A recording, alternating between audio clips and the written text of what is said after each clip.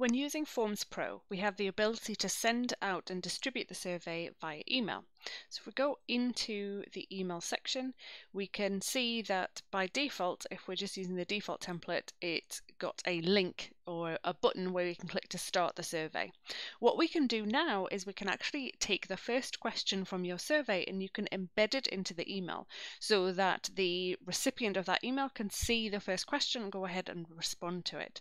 So let's have a look at how to do that.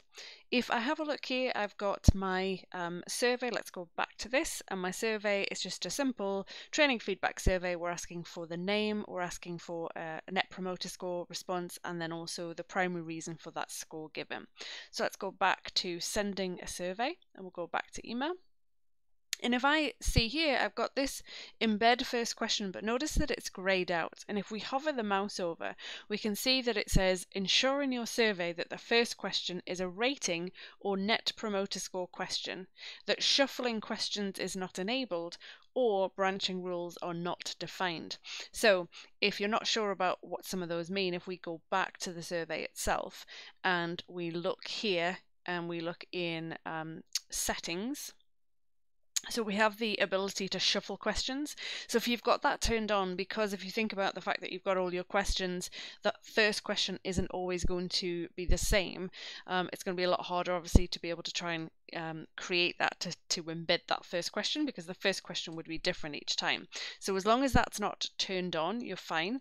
And then also, if we go back um, and we look here, and we look at branching rules, as long as you don't have any branching rules that are set up. So, in other words, if the answer to question one is um, yes, display question two. If it's no, don't, hide it and display question three, that kind of thing. So, as long as you don't have any branching rules.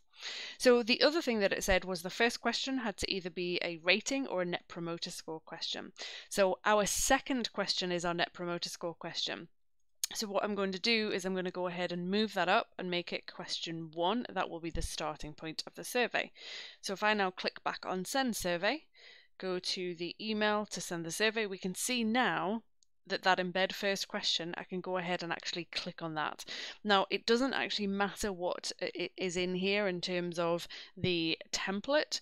Um, if I just click embed first question, you'll see that it removes the link for the survey and it just puts just puts the first question in there. So let's go ahead and we'll send this to Jane. Let's look for her. Let's wait for her. There we go. Um, so I'm going to go ahead and send this to Jane. So I've got everything in. I'm just going to go ahead and click send and we'll be able to see what that looks like in just a moment. So you can see there that yes, you can put that first question in there. This is only available if you're sending out your emails via Forms Pro itself. So in other words, if you are generating the email to be sent using Microsoft Flow, you're not going to have the same option.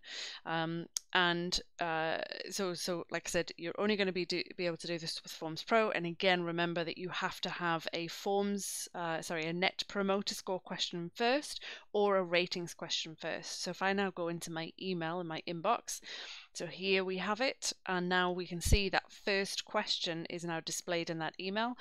So I'm going to go ahead and give the training an 8. So all I'm doing is I'm just clicking that. It's immediately directing me to the survey itself. But what whatever I clicked on for the response within the email, so I clicked on 8, we can see that that's already filled out as an 8.